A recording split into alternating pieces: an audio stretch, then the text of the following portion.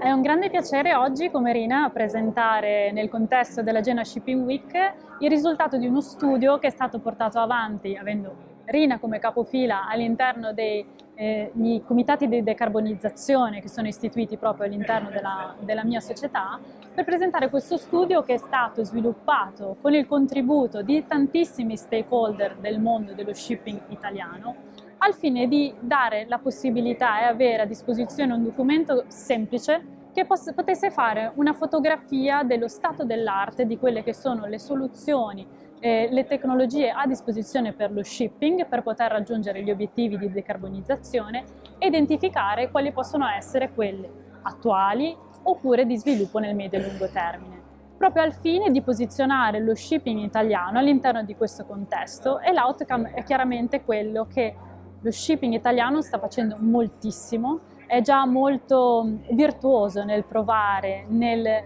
investire in nuove tecnologie, sia se si tratta di piccole realtà che grandi gruppi armatoriali e questo chiaramente è un ottimo segnale perché significa che lo shipping fa parte di questa sfida per raggiungere la neutralità climatica e lo sta facendo cercando di essere anche da traino per altri eh, settori industriali hard to abate. E quindi questo è molto importante e soprattutto il concetto importante che traspare proprio dal fatto che tantissimi, tantissimi partner hanno collaborato è quello che per raggiungere questi obiettivi ambiziosi è fondamentale lavorare in concerto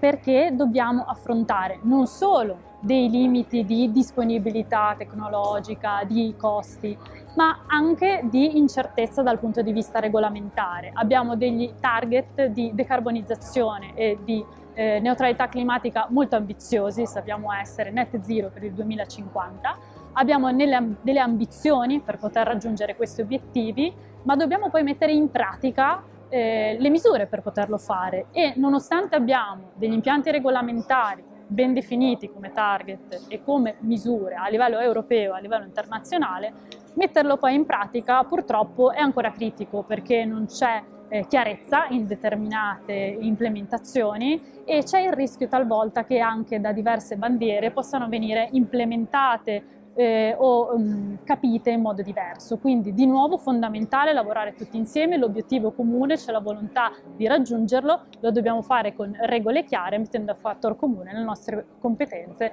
e la nostra possibilità di rendere lo shipping davvero un settore virtuoso.